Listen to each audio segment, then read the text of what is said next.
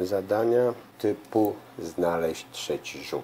Są to zadania, które pozwolą nam stwierdzić, czy potrafimy sobie wyobrazić bryłę na podstawie dwóch rzutów. Takim pierwszym zadankiem jest dwa rzuty. Rzut główny, rzut z góry, a trzeba wymyśleć, jak wygląda rzut z lewej strony, przy czym w tym przekroju. Drugie zadanko, no, mamy rzut główny i rzut z lewej strony. I trzeba wyznaczyć, jak wygląda rzut z góry, przy czym są to dwa elementy, które dają się składać, czyli faktycznie można doprowadzić do takiego złożenia dwóch elementów. I trzecie zadanko, w którym mamy z kolei rzut z góry i rzut z lewej strony, a trzeba wymyśleć, wyobrazić sobie, jakby wyglądał rzut główny. No, to możemy teraz sobie samemu pomyśleć, jak by wyglądały te rzuty, no ale żeby nie trzymać dalszej niepewności, to popatrzmy. Wróćmy do pierwszego zadania, którym problem polega na tym, że te narysowane rzuty wprowadzają nas w pewną sugestię, że jest to jakiś element prostopadłościenny.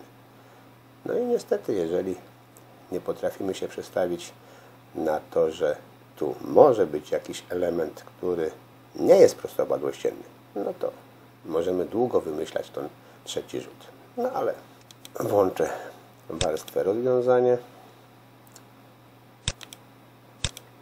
Jak widać, rozwiązanie jest faktycznie banalnie proste. Pod warunkiem, żebyśmy sobie wymyślili, że jest to taki element obrotowy. Oczywiście tu może być każdy zarys, każda powierzchnia, która w tym rzucie nie daje nam krawędzi, czyli może być to walec, tak jak w tym przypadku jest to pół walca, no ale każda krzywa, która tu by nie dawała krawędzi, tylko tworzącą u góry, pozwoli nam to rozwiązać. Może jeszcze dla kogoś, kto nie może tego sobie dobrze wyobrazić, to włączę jeszcze jak ta bryłka by mogła wyglądać i spójrzmy. Ta bryła wygląda w ten sposób. Jakbyśmy spojrzeli z przodu to tak, z boku. To tak, tylko że tu miał być ten przekrój, to włączę. A, takie. Modelowaniu szkieletowym widać, że to tak, czyli mielibyśmy takie rozwiązanie. W przypadku tych dwóch części, które mają się składać, rozwiązania są przynajmniej dwa. I również pewna sugestia spowodowała to, że nie możemy się wyrwać z tego, że to jest w takim układzie prostokątnym, no ale niby prosto, jakbyśmy ten jaskółczy ogon zrobili tak na krzyż, no ale wtedy nie dałoby się to złożyć. W związku z tym ciężko nam sobie wyobrazić, żeby to rozwiązanie było na przykład takie, czyli byśmy składali tak przez obrót te dwa elementy lub takie, czyli przez takie nasuwanie pod kątem.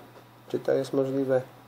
No to włączę obydwie bryłki i teraz sobie spojrzymy na to.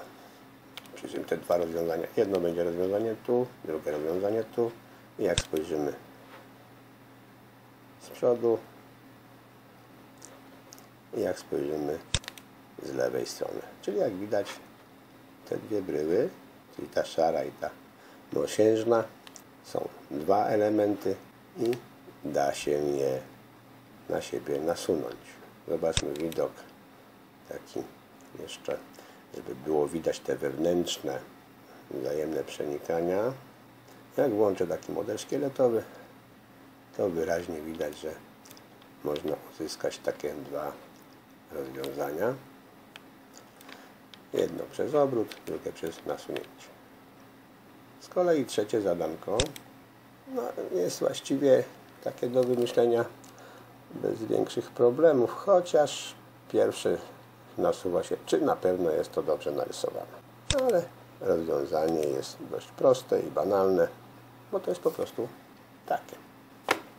I również dla kogoś, kto ma wątpliwości, narysuję sobie to, przedstawię to bryłowo i może tutaj lepiej będzie to obejrzeć po prostu tak. Jak widać, bryłka nie jest skomplikowana, no ale wymyśleć ją na podstawie rzutów, no nie do końca jest takie proste. Dziękuję za uwagę.